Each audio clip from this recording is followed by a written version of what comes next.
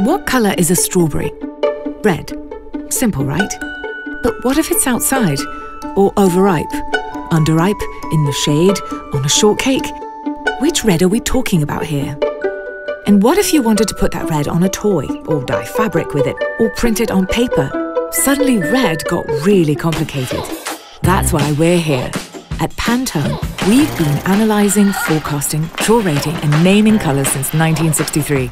We're colour nerds. Every day, we produce the language of colour to help designers, brand owners and manufacturers communicate around the globe, ensuring the colour intended is the colour produced.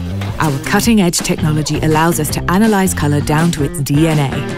We see inspiration everywhere, and we forecast where the culture of colour is headed so our team of experts can bring those shades to life.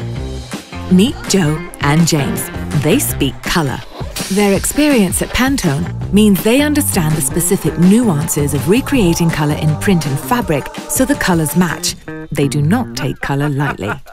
Joe, James and our colour standards technicians know just how to take a colour and consistently translate it into all the ways that colour can be reproduced on paper, fabric, plastic or on screen.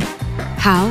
First off, with the most accurate instruments and digital solutions to identify colour outside basic visual assessment, aka what you and I can't see.